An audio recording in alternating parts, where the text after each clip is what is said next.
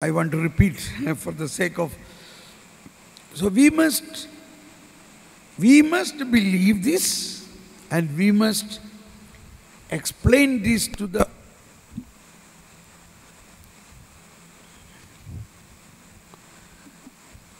We must believe this. We must explain this to our people. What is liturgy? This is where the church, you know, since I am mostly working in Germany, a German called, what is his name? The Protestant um, Martin Luther. He was a Augustinian monk. But what has he learned from Augustine? he, as an Augustinian monk, have not at all understood the teaching of Augustine or teaching of the church. So I have a comparison with another Augustinian, that is Joseph Ratzinger. As a priest, Joseph Ratzinger eaten the whole teaching of Saint Augustine. City of God and my confession was like Bible Joseph Ratzinger was carrying. Every, all teaching of Augustine, particularly the teaching about the church, was so dear to this priest, Joseph Ratzinger. The result was what a great pillar of faith he became. So much rooted in faith and rooted in the love of church, rooted in the sacraments. That is the sharpness and the loving teaching of whole St. Augustine's teaching. I have done a little research in catechism. It is St. Augustine's teaching prevails more than any other church fathers here. It is easy to understand, and the last, there is a directory. And in that, we can see how St. Augustine taught the love of church and love of Christ and the love of Holy Spirit is so much united. Without loving the church, you cannot love Christ. Without loving the church, you cannot receive Holy Spirit. And the liturgy has to be understood. Okay, so because he, the Martin Luther, did not relate in this way, or at that time, the universal church did not teach enough the catechism. Therefore, these poor people who have no understanding about these things, when Martin Luther said like this, they all went into his way. That was the cause of such a big division in the church. Even now, many of our, all the Protestant pastors really attack the Catholics. They may, of course, they are also doing evangelization, but they love to come and grab the sheeps of the Catholics. And they, poor people, believe it because we have not given them the teaching. When somebody came and said to a Catholic, see the baptism you received is not the real baptism. You were not immersed in the water. You know Jesus, when he received baptism, he immersed fully.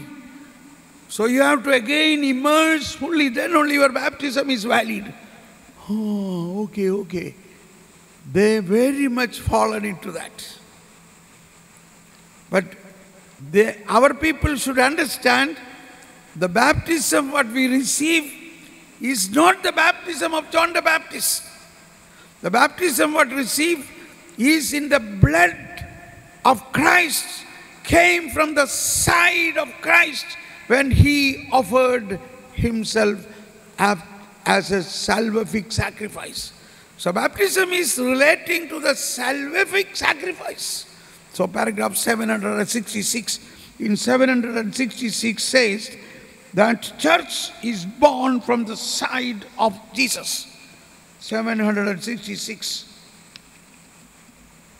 The church is born primarily of the Christ's total self-giving of our salvation anticipated in the institution of the Eucharist and fulfilled on the cross. The origin and growth of the church are symbolized by the blood and water which flowed from open side of the crucified Jesus. That is our baptism. Not the baptism of River Jordan. Baptism, what we give is a sacrament. The sacraments, yeah. For it was from the side of Christ as he slept the sleep of death upon the cross that there came forth the wondrous sacrament of the whole church. Church itself is a sacrament. But both these came from the after the salvific sacrifice Jesus offered from the poured blood and water.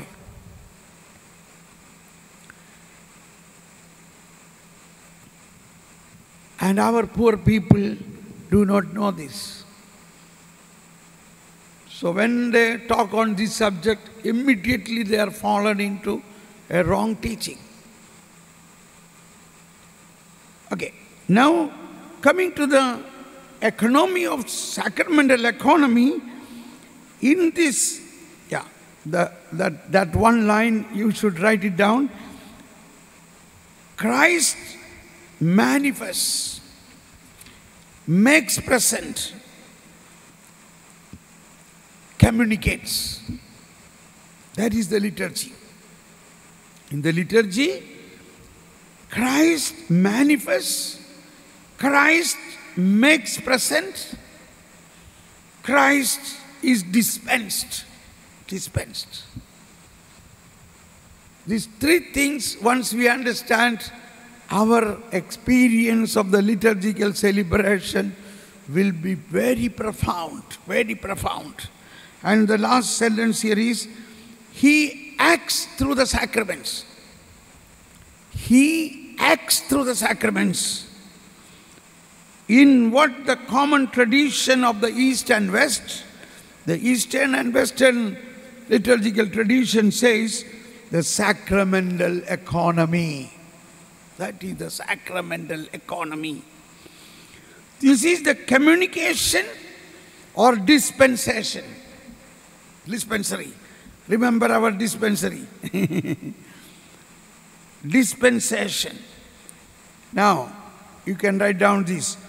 Of the fruits of Christ's paschal mystery, the fruits generated of the paschal mystery, that is passion, death, and resurrection. That fruits of the paschal mystery in the celebration of the church sacramental liturgy is dispensed. Dispensed. And so, coming, I wanted to say that after Jesus' resurrection,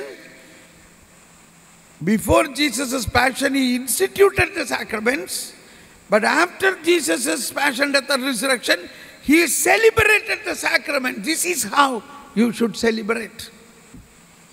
So, liturgy already developed with exactly how you should celebrate is done by Jesus himself. As an example, you see the, the, the Emmaus journey. In that Emmaus journey, we can see a solemn celebration of the liturgy with more than five or six readings, a reading from Genesis, reading from the book of Deuteronomy, reading from the book of um, prophets, reading from Psalms, and that, that is what he says. He, wa, he was interpreting the scripture. So the liturgy of the word was going on, a long liturgy. Then, but still they could not recognize the risen Lord. he was walking with them, speaking to them, the risen Lord. And they were so sad because they thought this Jesus would be, but that Jesus was killed and buried, is gone. They were so sad. And that Jesus, who was killed and buried three days back, is risen and walking with them. That is liturgy. Do this in memory of me means the whole life of Christ is reenacted and we are walking with Him in the Holy Sacrament. We are walking with Him. And at the end, He came, He sat with them at the table. Now, it is not written what exact prayers Jesus did there. Surely they were following after that the same thing. He took the bread, gave thanks and praise. How he gave thanks and praise? He have used several words. He used several prayers. He used several psalms.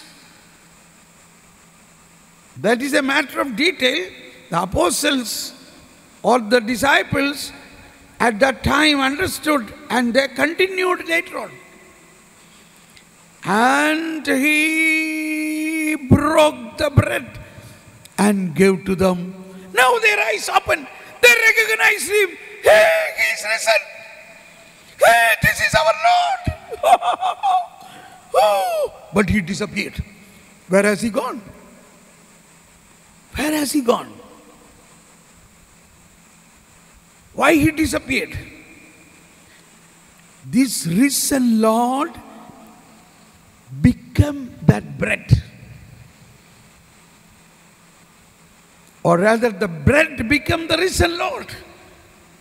And the risen Lord entered inside them. Inside them. That is how their eyes opened. That is how he dispensed himself. So in the liturgy, Christ is revealed, Christ makes present himself and dispensed. Now they were so excited. They said, now the evangelization begins. These apostles or disciples left Jerusalem. What is the use of staying in Jerusalem? Let's go back. All promises has gone waste. They were so cut to heart and they were they abandoned their mission and going back to their home. But now they say we must go back to Jerusalem right now because we saw him. He is risen. He is truly risen. Hallelujah. And they ran to Jerusalem back and began to evangelize, began to proclaim. John Paul II, Pope Paul the Sixth, Benedict, Pope, all holy fathers say that is the evangelization. Proclaim the risen Lord through the power of the risen Lord, through the person of the risen Lord, moved by the Spirit of the risen Lord. That's it. That's it. So when we experience that risen Lord, we cannot keep quiet. We cannot keep quiet. That's why Peter and John says, how can we keep quiet? The, the, the Sanhedrin says, you should not say that word Jesus again. Okay? Sorry, we cannot keep quiet. We cannot. We cannot keep quiet because we are experiencing the risen one in us. That is evangelization. It is not a, it is not an organizational matter. It is such a great spiritual spur, a spur, a spontaneous spiritual work by the risen Lord. It is not in our control. So, we must recognize only through sacrament a real experience of the resurrection we can perpetuate, perpetuate. So we ourselves should have that experience. Then our sacrament celebration will be something different. Something different. First of all, we will spend time before the celebration reflecting that the liturgy. So the liturgy, as we must know, it is the it is the it is the property, it is the treasure of the Holy Catholic Church. So Sacrosanctum Concilium, the dogmatic constitution on the liturgy. You must read it, you must learn it. How great things are mentioned there. Okay, you know it. Or others must read that. Sacrosanctum Concilium, the, the Second Vatican document on liturgy. And when you really into this understanding of the reenactment that you as a priest is reenacting as Christ as a lamb, not only Christ as a as a priest who is offering the sacrament, that is only one part. The most, the most important reenactment is you as a priest not only become a priest like Jesus who celebrate the sacrament, but more than that, you become Christ who is the victim, victim offered there. I remember in one of the priest retreats in Mumbai, there were Latin and Syro-Malabar priests were there. So after I explained the holy liturgy, in which I had to explain this aspect about that the priest is not uh, is Christ not only not only the one who is celebrant celebrating the sacrifice but Christ who is offered as a victim so that day we celebrated as a, a Syro-Malabar liturgy the priest who celebrated from the beginning was in tears, crying. Sometimes he was sobbing and crying. So the priests were little, others were little disturbed. Why is he going out of control? They were just looking here and there. He is out of control. He tried, he tried to wipe off often his tears, but it is flowing and flowing. The words he speak is not becoming eligible, eligible. He, it is. So at the end of the celebration, after uh, changing his vestment, he came and apologized. My dear brother priest, I apologize for what happened. I was completely out of control.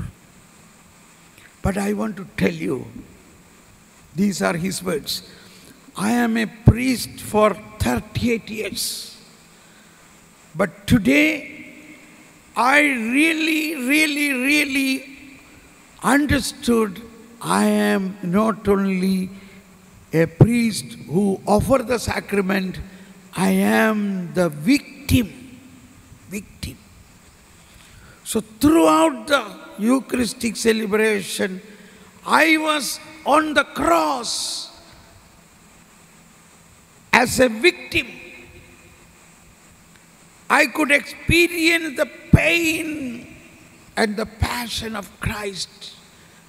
I was controlling my maximum not to burst out with loud cries. But it has become a unique experience for me.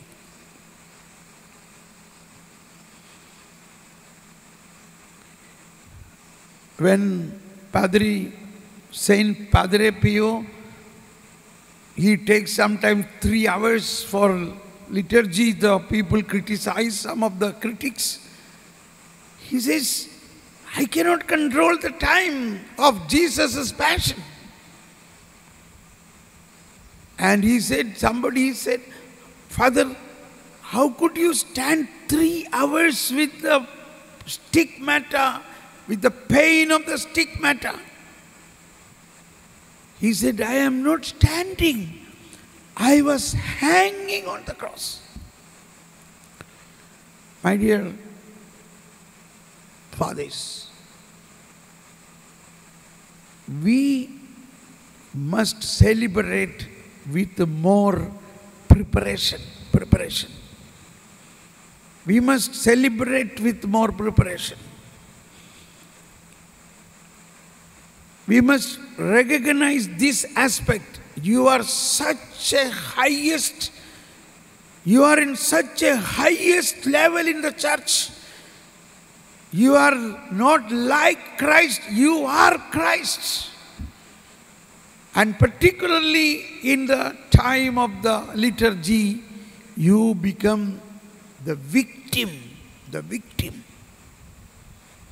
And with that understanding, you must prepare little more before you celebrate the liturgy. Sometimes reading the scripture, understanding that day's scripture, connecting the scriptures, that is the Old Testament, Psalms, and the New Testament, you should connect. And you must believe the liturgy is a reenactment of the same event of Jesus, which has validity even before thousand years to deliver the people of Israel through this liturgy. So it also has validity to deliver the people even after thousand years. Once a woman asked me, Thomas Paul, we pray, Lamb of God who take away. Our time is over, eh? eh? Okay. Okay, I'll stop now.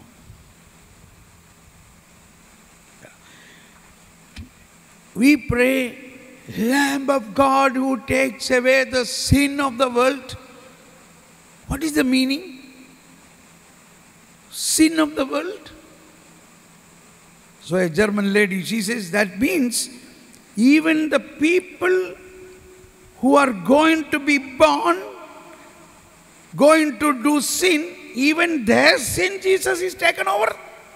Exactly. Huh? I never believed that. You believe now. And you go for a confession and say, My lack of faith. Our first sin is our lack of faith. So I explained her Jesus is not going to come again to take away their sin. His one sacrifice is an eternal sacrifice which redeemed the whole humanity from the original sin. So I told her, even before Jesus' passion, thousand years back, the Israelites were redeemed through this sacrifice. So also, all the generations who are going to be born going to commit sin, even that sin Jesus has taken over. Oh, that is excellent. Ah, yes, yes. So she went for a confession and confessed this lack of faith. And then he came back and said, oh, Now I feel very strong. We feel very strong when we understand this mystery with its full velocity, with its full plan of God. He is the Lamb of God who took away the sin of the world. Sin of the world. Even those people who are going to do sin. So we, we, are, we are afraid to say, don't say all these things, that people will keep on doing sin. That is our lack of faith. When we proclaim this, when we celebrate this, then they will be delivered from their sins and they will be transformed to a new humanity, a risen humanity, a redeemed humanity. They cannot do then the sin. That should be our faith. So, my dear friends, let us conclude now. This, this all what I said is for the point of evangelization. Evangelization is not simply speaking some words of Jesus and making a prosperity for their solutions. No. Christ, mystery of Christ must be proclaimed. Evangelii Nuntiandi, Redemptoris Missio, Gaudium Spes, Evangelii Gaudium. All this is speaking and teaching us the mystery of Christ must be known. We may make some entertainment and make jokes and all these things won't, do not convert the soul. A soul will receive conversion not because of our words of words, but through the mystery of Christ. Penetrate into and touch them. So Saint Therese, even as a 14 year old girl, she believed Jesus already took the sin of the humanity. So this triple murderer, Pranzini, even he, his sin, Jesus has taken over, and Jesus will give him pardon and, and forgiveness. So, with that, that confidence, this 14 year old girl prayed, Oh Lord, I believe you have taken the sins of Pranzini. Have mercy on him. Today he is going to be hanged to death. Before he is he die, he may be given a chance of repentance. She says, I feel confidence that you have taken over his sins on the cross. And I cry, and I believe you will not refuse the cry of this little child. You will grant him mercy.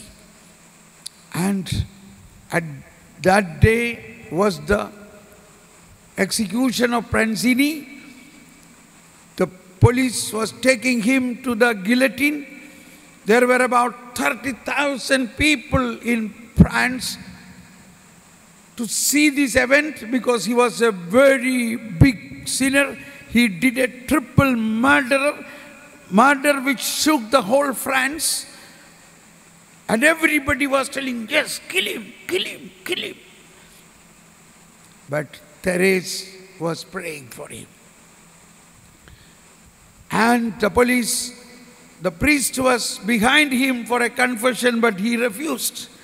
Now that priest is standing there as a protocol to stand anybody who dies, the priest would stand with a crucifix near the guillotine. That is a practice in the prison.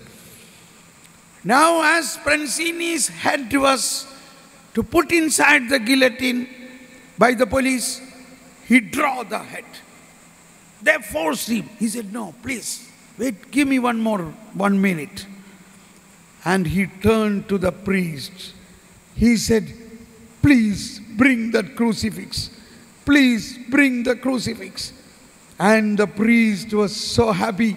He ran with the crucifix to the guillotine And Pranzini took the crucifix and kissed him three times.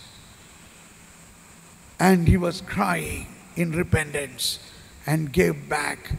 Now the priest has blessed him. And then he gave his head to be executed. Now, this news came in the newspaper.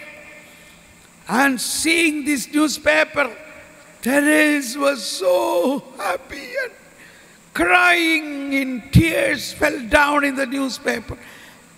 And she said, This is my call. This is my call to save the sinners through my offering and prayer. That was the first important moment of his, her call. I have made an animation film on this. It is available in the YouTube.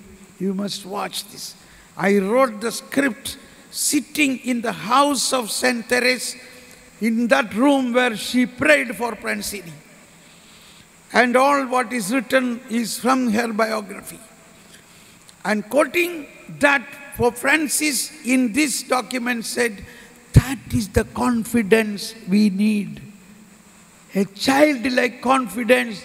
Jesus has already taken over our sins, sins of the humanity. And in that confidence, we have to offer the liturgy. Oh Lord. Let us praise God. Thank you, Jesus. Praise you, Jesus. Hallelujah. Hallelujah. Hallelujah. Hallelujah. Everybody, praise you, Jesus. Thank you, Jesus. Thank you, Lord. Hallelujah, Lord. Praise you, Lord. Hallelujah. Hallelujah. Hallelujah. Hallelujah. Hallelujah. Hallelujah. Now, we will have a long break now, but I have an inspiration to tell you because it was a workshop, we did not plan a confession. But now I feel, considering that woman's confession, that she confessed that she did not believe that Jesus is the Lamb of God who already took away the sin of the humanity. She thought only the present people. And she said after confession, she, her faith increased. So if any of you at this moment want a confession, you can approach any of the priests or the priests themselves can also confess as a matter of fact here now. Praise the Lord. Thank you. So we will